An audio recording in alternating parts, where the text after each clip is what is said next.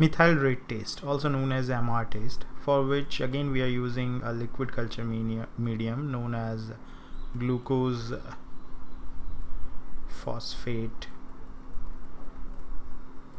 broth some people also call it as uh, MRVP broth because this medium is common for both methyl as well as Voges-Proskauer taste. Now what we do we inoculate this uh, medium with our bacterial suspension this bacteria will ferment this glucose. So due to fermentation of glucose there will be lots of acid pyruvic acid lactic acid and other acids which are produced. And due to this acid the pH will go down.